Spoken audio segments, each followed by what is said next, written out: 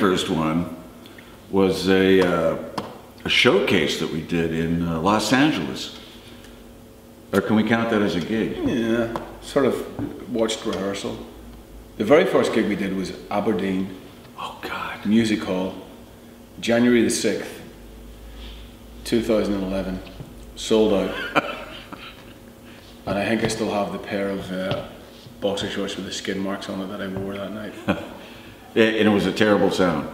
it was a terrible sound on stage, it was horrible. The, the sound kept bouncing back at us.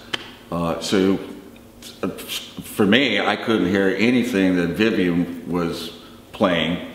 Uh, I couldn't hear anything that you were singing. The drums sounded like they were in another hall down the block. so I was having kind of a, a little bit of my own little nightmare over there on the left, you know. It was a rough sound on stage. I mean, it just there was, wasn't a good sound on, sound on stage. But the audience was kick No, it was great. You know, that it's a- was that's what saved the whole night. Was the audience was up and running with us, right? So um, if that if that hadn't happened, it would have been a freaking nightmare. But uh, the audience up there in Aberdeen were killer.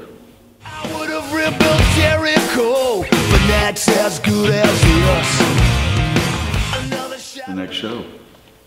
Yeah, I mean, for me it was a bit different. It took me certainly three or four gigs to loosen up and relax a little bit on stage because obviously the first few gigs you could smell the anticipation off the crowd that they were going, you know, what the fuck's this guy selling? Is he going to be any good?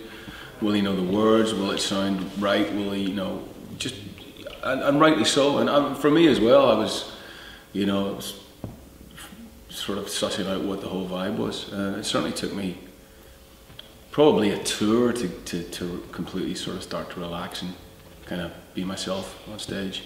Well, you certainly didn't show it. No, thank you, Scott. Good man. Thank you. if I'm being honest, and I am honest. I think it's all you're always going to be a bit nervous uh, first time around, no matter what you do. Yeah. But you had the extra added pressure of, you know, stepping into that spotlight, uh, the, the hot seat. Right. Uh, I didn't envy you on that one, but I was, I was really proud of you at the end of it. No, man. thanks, man. I always say, and you, you, you know, people say that, and you don't fill them, you stand beside them. And that's that's what I always intended to do with, with that spot with Phil. It was, I'm standing beside Phil's shoes. Bound for glory. Lost but never lonely. Bound for glory.